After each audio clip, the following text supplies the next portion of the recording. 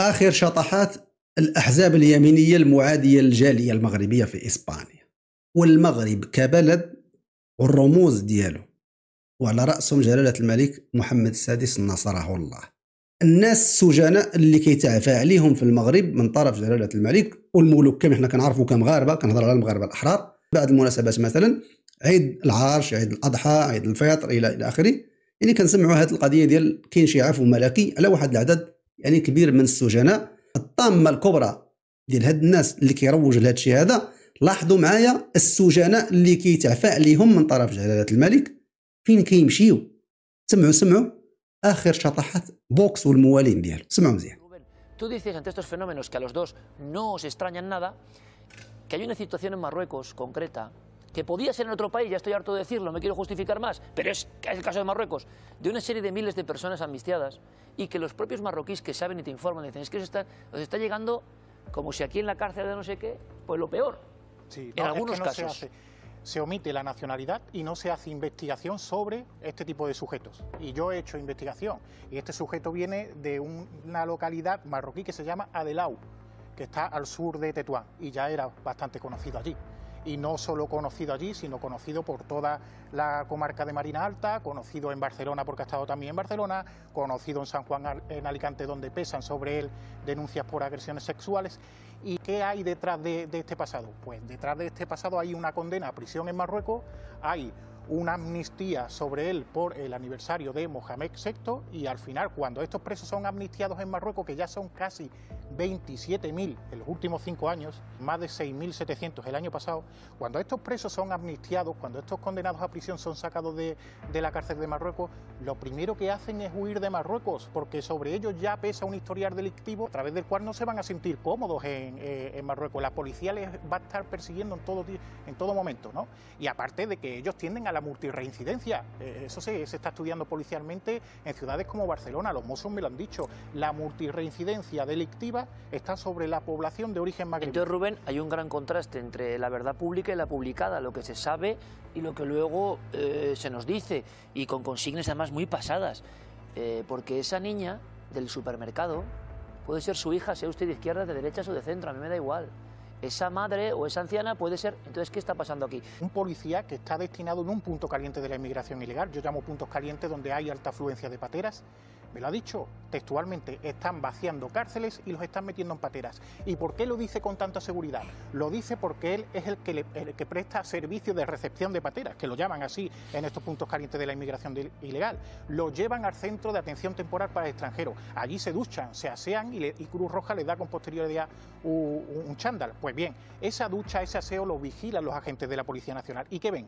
Ven tatuajes, ven cicatrices, ven heridas contundentes. Es decir, son expresidiarios.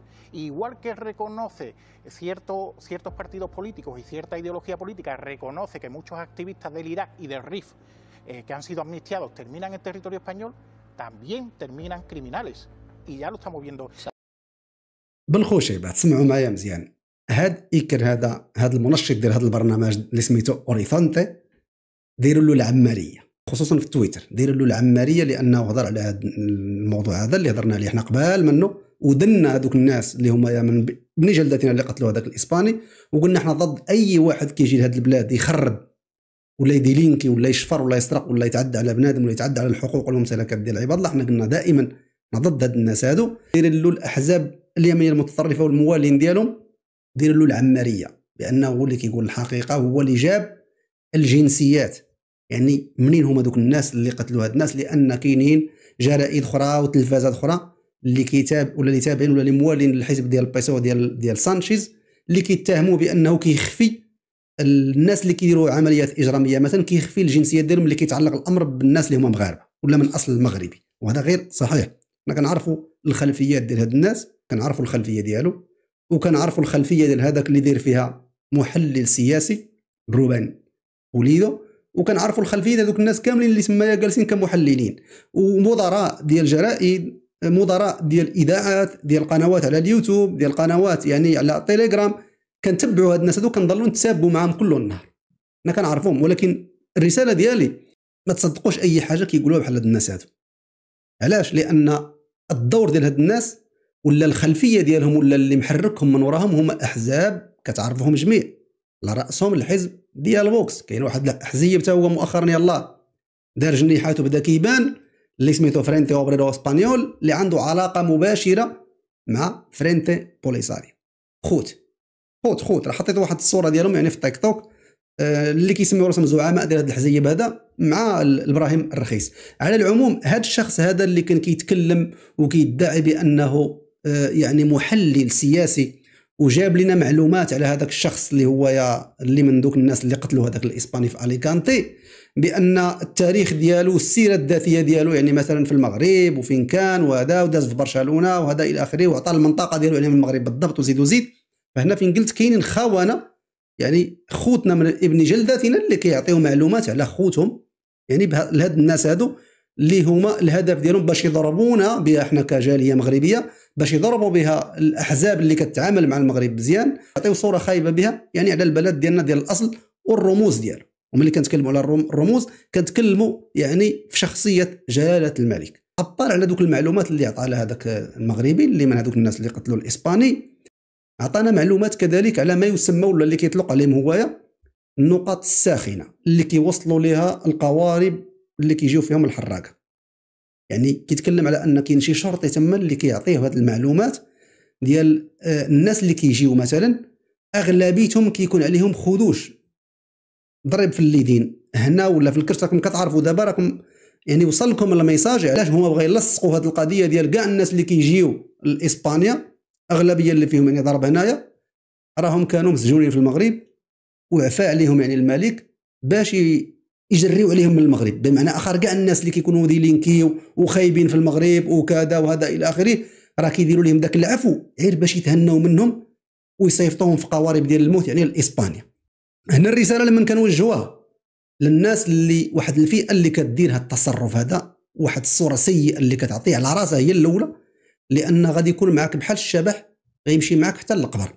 هما الناس اللي كيديروا الضرب ديال الجسم ديالهم. يعني كيضربوا يديهم كيضربوا كروشهم كيضربوا عنقهم كيضربوا كاع الجسم ديالهم الرجلين ديالهم. هذا كيتكلم على أن ملي كيجيو الناس يعني كيمشي تما الصليب الأحمر باش كيديهم يغسلوه ويمشيو يدوشوا وكذا وكيراقبوهم الشرطة. وهذا الشرطي اللي كيتكلم عليه يعني من دوك الناس اللي كيكونوا كمراقبه مراقبين لهاد الناس هادو يعني هو اللي كيشوف الحالة ديال هاد الحراقة اللي جاو مثلا كيفاش داير الحالة ديالهم يعني في الجسم ديالهم. فيهم ضارب فيهم وشم يعني الوشام حنا كنشوفوا الإسبان غير الإسبان كلشي وش كلشي موشوم ولا كلشي داير الوشم هذه ماشي شي حاجة اللي هي خطيرة. ولكن هو كيتكلم على مسألة ديال cicatrices. يعني الناس مضروبة واللحم ديالها يعني باري وهنا لصقوا لك مباشرة خويا ولا أختي اللي كدير هذه المسائل هذه أي واحد غادي تحيد حوايجك غيلصق لك هذه الصورة اللي لصقوها هاد المعادين هادو الجالية المغربية ولا المغرب كبلد غيلصقوا لك هاد التهمة ديال أنك كنتي سجين كنتي عندك يعني تاريخ أسود كنتي مجرم في البلد ديالك وبالتالي مباشرة تهموك بأنك كنتي حباس. ضارب الحبس وعلم الله شنو هي الكوارث يعني اللي ارتكبتي ولا الجرائم اللي ارتكبتي في البلد ديالك ديال الأصل وأنت راك غير ما جايش تقلب على فرصة ثانية. ولا جاي باش تسوي الوضعية ديالك وتعيش يعني تكون عندك حياة أفضل. لا أنت غير البلد ديالك والناس اللي هما مسؤولين ديال البلد ديالك بغاو يتهناو منك ورماوك لإسبانيا باش تجي تخرب هذه الدولة.